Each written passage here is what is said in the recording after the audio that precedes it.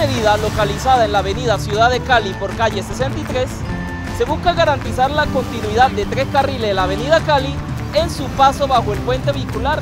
Con esta medida hemos logrado mejorar en más del 40% los tiempos de recorrido sobre la calle 63 y un 18% de mejora en la longitud de colas.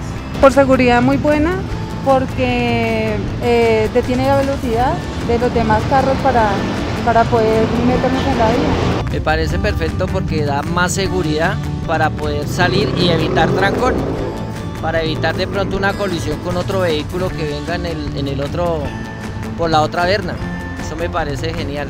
Excelente, excelente. Me gusta porque se preocupan por la seguridad de los vehículos y se anticipan a la, a la generación de cualquier accidente, cualquier incidente que pueda ocurrir. Me parece eh, muy buenos, nos ayudan a, a, a, tener mejor movilidad y a salir hacia la, hacia la avenida Cali. Con esta intervención estamos beneficiando a más de 15.000 personas que pasan por este punto en la hora de máxima demanda.